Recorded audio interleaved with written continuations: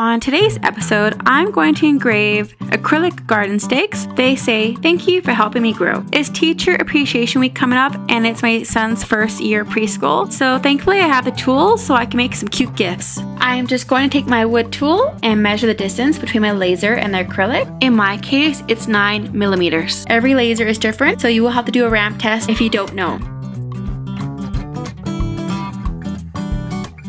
Now I'm going to apply Dawn dish soap to the top of the acrylic with paper towel. I do this so the acrylic doesn't melt. Now you don't have to use Dawn, but you can use any other brand you like.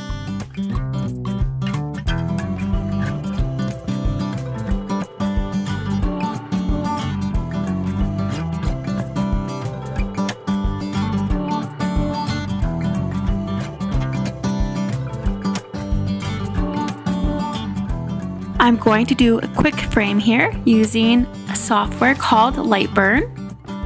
Everything looks great, so I'm going to turn the water on and I'm just going to put a little bit of air on because you don't want it too windy in there because acrylic can set on fire. It also can get quite smelly.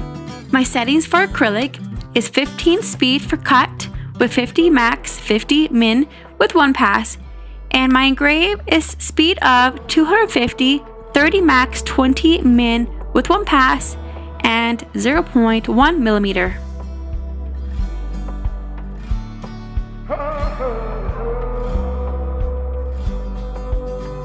And here is what it looks like. And now I'm going to take it inside and I'm going to rinse it off. The best part about using soap on the acrylic in the very beginning is that all you have to do is rinse peel off the backer and dry with a soft cloth and you are set. Thank you for watching. I hope some of these tips help you in your next acrylic project. Please hit the subscribe button at the end of the video and I can't wait for you to see what I have in store next. See you next time!